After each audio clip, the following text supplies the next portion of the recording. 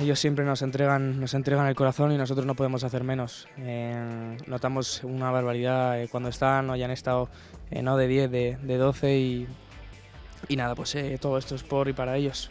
Así que gracias.